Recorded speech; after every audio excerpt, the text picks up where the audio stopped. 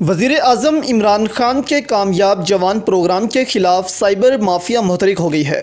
Web site پر مختلف ممالک سے سائبر حملوں کی کوشش کی گئی ہے۔ ویب سائٹ پر ہونے والے تمام سائبر حملوں کو ناکام بنا دیا گیا۔ تفصیلات کے مطابق این ٹی سی حکام کے مطابق بھارتی ہیکرز کی جانب سے بھی سائبر حملوں کی کوشش کی گئی۔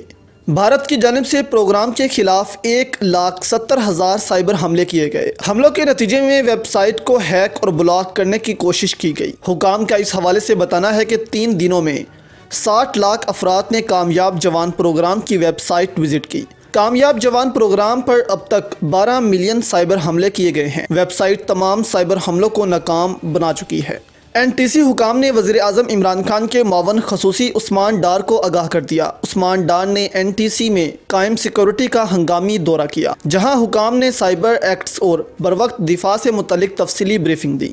حکام نے بتایا کہ ویب سائٹ پر چوبیس سو ہٹس فی سیکنڈز کی تیاری کر چکے ہیں۔ نظام مکمل فول پروف بنایا ہے۔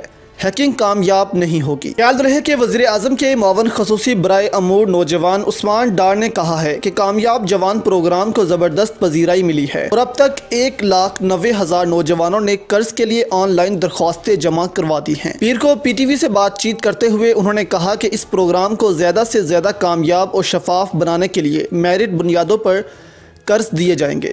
وزیر اعظم عمران خان کی نگرانی میں یہ ملک کا پہلا ٹریننگ سسٹم پروگرام اور براہ راست ایس ایم ایس نوٹیفیکیشن ہے۔ انہوں نے مزید کہا کہ کچھ ہی دنوں میں election training system online درخواستوں کو وصول کرنے اور ان کی مانیٹرنگ پر کام شروع کر دے گا۔ اس سسٹم کو استعمال کرنے کا مقصد کاروائی کر کے درخواست ہندگان کو فوری معلومات پہنچانا ہے۔ انہوں نے کہا کہ اکیس سے پنتالیس سال تک کی عمر کے لوگ قرض کے لیے آن لائن فارم جمع کروا سکتے ہیں اور اس کے لیے کسی کو خود درخواست جمع کرانے کی ضرورت نہیں ہوگی۔ انہوں نے مزید کہا کہ تمام درخواستیں آن لائن جمع ہوں گی اور منتخب bank branches S M S کے ذریعے انہیں ان کے فون نمبرز پر تصدیقی میسج بھیجیں گے۔